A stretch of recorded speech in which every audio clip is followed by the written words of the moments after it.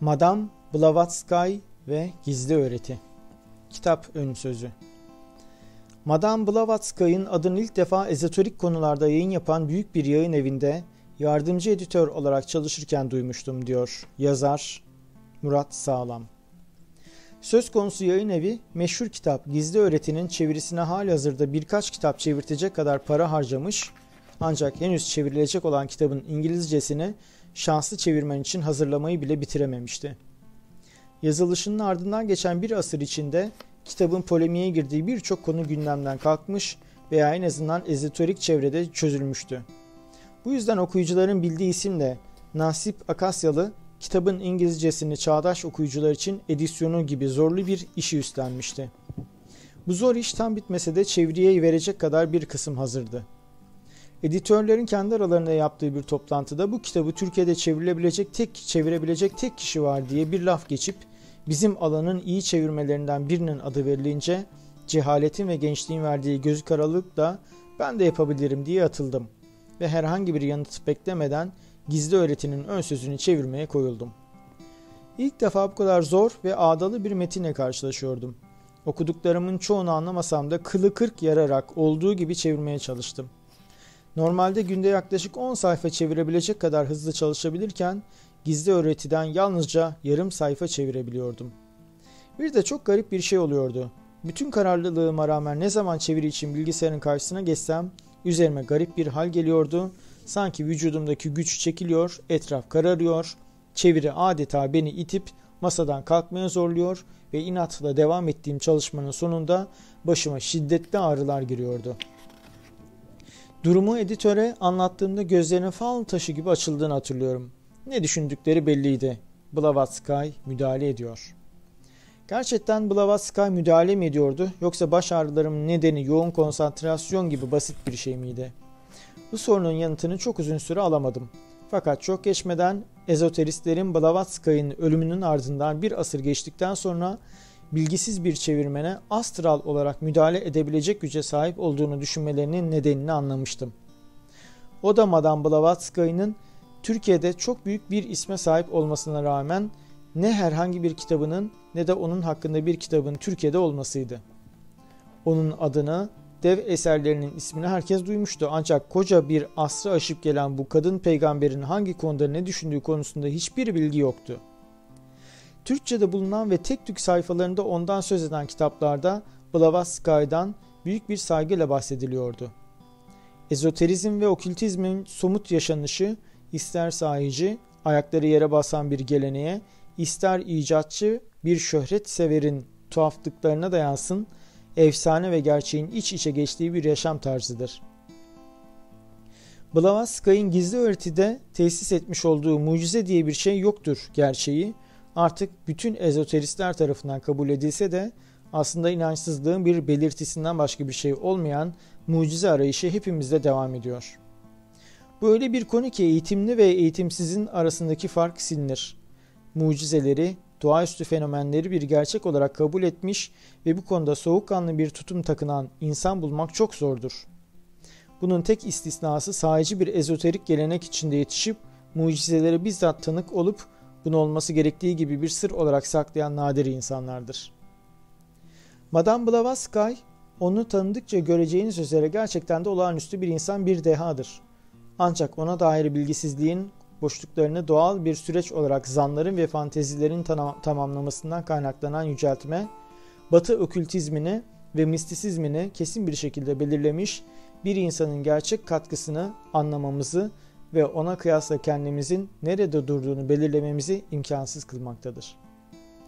Gizli öğretinin çevrilmesi başka bir bahara kalsa da birçok başka konularda da yalan yanlış bilgiler ve tutumların arasında hiç olmazsa böyle önemli bir isim konusundaki eksikliği gidermek için Teosofinin üç temel metninden biri olarak kabul edilen diğer ikisi Sessizliğin Sesi ve Gizli Öğretidir. Teosofinin Anahtarı adlı kitabı yine büyük bir talih eseri Nasip Akasya'nın yardımıyla çevirdim. Mitra yayınlarından çıkan bu kitap büyük bir heyecanla karşılandı. Kitap çıktıktan sonra yayın evi adeta telefon ve ziyaretçi yağmuruna tutuldu. Birçok teşekkürün ve kutlamanın ardından laf dönüp dolaşıp aynı soruya geliyordu. Gizli öğretiyi yayınlayacak mısınız? Bu kadar yönlendirme ve talep olunca ister istemez biz de oturduk ve düşündük. Gizli öğretiyi yayınlamalı mı? Bütün maliyetine ve harcanacak emeğin büyüklüğüne rağmen Madame Blavatsky'ın şaheserinin Türkçe'de yayınlanması bir mecburiyettir. Bunu kabul ediyorduk. Fakat büyük bilgi boşluklarının ortasında böyle bir kitap yayınlamak, kupkuru bir çöle sağanak yağmur yağdırmak kadar faydalı olabilirdi ancak. Rahmet hiçbir fayda vermeden sel olup akıp gidebilir. Zaten söz konusu kitap etrafında koca bir literatürün oluştuğu batıda bile yardımcı kitaplarla birlikte okunmakta ve pek çok yerde uzun ve ciddi etütlerin konusu olmaktadır. Oysa Türkiye'de farklı şartlar geçerlidir. Bu sağanak yağmura veya yağmurlara hazırlanması için toprağın azar azar sulanması gerekiyor. Amaç yüzmeyi öğretmekse yapılabilecek en yanlış şey bir insanı okyanusun ortasına atıp hadi yüz diyerek dev dalgalarla onu yalnız bırakmaktır. Söz konusu hataya düşmemek için Madame Blavatsky, Teosofi gizli öğreti hakkında okuyucularımıza dönemin havasını solutan, Madame Blavatsky'ın nasıl biri olduğu hakkında bilgiler veren bir giriş kitabının yayınlanmasına karar verdik. Elinizdeki bu eser bu kararın hayata geçmesidir. Madame Blavatsky hakkında batıda yayınlanan sayısız kitap dışında sadece in- internette yüzlerce cilt dolduracak bilgi bulunabilirsiniz. Bu bilgilerin büyük çoğunluğu onun taraftarları ve öğrencileri tarafından yazılmış, çeşitli ülkelerde teosofi cami, cemiyetlerinin serbestçe yayınladığı eserlerden oluşur. Elinizdeki kitaba da bir kısım alınan bir bu eserlerin büyük bir kısmı metiyelerden ibarettir ve çok güçlü bir savunmacı ton, ton içerir. Bu savunmacı tonun nedeni Blavatsky'ın son derece tartışmalı ve deyimleri yerinde ise medyatik bir figür olmasından kaynaklanmaktadır.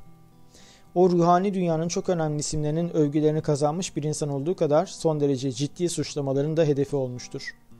Bu yüzden tek taraflı bir yayın yapmamak, Blavatsky'ın bulunduğu zirveyi görüşümüzü engelleyen sis ve bulutları biraz dağıtmak ve onun yaşadığı dönemde dünyayı taraftar ve karşıt olarak iki görüşe göre uygun bir resim oluşturmak için onun en azılı rakiplerinin yazılarına da yer verdik. Kitap üç kısımdan oluşmaktadır. Birinci kısım Blavatsky'ın hayatı ile ilgilidir. Burada ilk olarak adanmış bir teosofist olan ve Blavatsky'ın hayatının ayrıntılı bir kronolojisini çıkarmış olan Boris Dezirkov'un yazısının bir özetini bulacaksınız. Bu yazı okuyucuya Blavatsky'ın hayatındaki önemli dönüm noktalarını ve önemli şahsiyetleri biraz kuru ve olgusal bir dille anlatmaktadır. İkinci yazı bir aile üyesinin kız kardeşinin gözüyle kamuoyunda bilinmeyen yönleriyle Blavatsky'ı anlatmaktadır. Bu bölümün son yazısı Blavatsky'ın en azılı muhaliflerden birinin bir misyonerin kaleminden geliyor. Söz konusu yazı Blavatsky'ın kariyerindeki en karanlık noktaları parmak basan ona karşı çok şiddetli bir eleştiri yazısıdır. Blavatsky'ı yerden yere vuran bu yazının şiddetini anlamak için Teosofi Cemiyeti'nin kurulduktan sonra en büyük başarıyı Hindistan'da göstermiş olduğunu hatırlamamız yeterlidir. Hindistan o vakitler bir İngiliz sömürgesidir ve misyonerlik çalışmaları İngiliz kültür emperyalizminin en önemli kollarından birini oluşturmaktadır. Blavatsky henüz, henüz Hindistan ortada yokken yazmış olduğu Peçesiz Isis adlı eserde başladığı şiddetli Hristiyanlık eleştirisine Hindistan'da da devam etmiş. Hristiyanlığı öteden beri var olan kadim bir dinin kurumsallaşarak yozlaşmış bir şubesi olarak yorumlamış, üstelik bu kadim dinin kaynağı olarak bilinen en eski ruhani metinler olan Vedaları işaret etmiş ve ediyordu. Bu konudaki düşünsel yayın cemiyetin Hindistan'daki en önemli faaliyetini oluşturuyordu.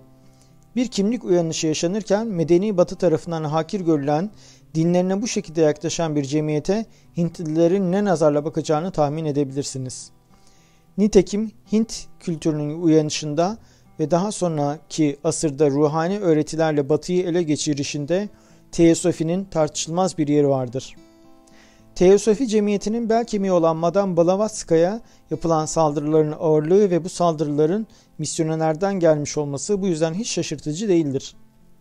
Bununla birlikte John Nicole Farquhar'ın Hindistan'daki Modern Dinler adlı eserinden alınan bu bölüm Blavatskaya yöneltilen bütün eleştirileri ve suçlamaları içerdiği için çok önemlidir. İkinci kısım efsanevi kitap gizli öğretinin yazılışı ile ilgilidir ve Blavatskay'ın sadık öğrencisi ve dostu olan Madame Weichmaster'ın onun ölümünden ardından hazırlamış olduğu bir tür hatırat kitabından alınmıştır. Buradaki yazılar sınırlı veya yakın tanıklıklardan oluşmaktadır. Bize birkaç yıllık yazılma sürecine kısa bakışlar atma fırsatı vermektedir. Üçüncü kısım gizli öğretinin oldukça anlaşılır bir özetine ayrılmıştır. Burada fazla ayrıntıya girilmeden teknik bir jargondan uzak bir şekilde Teosofinin bütün temel öğretileri ve inançları birbirleriyle bağlantılı içinde, bağlantı içinde verilmektedir.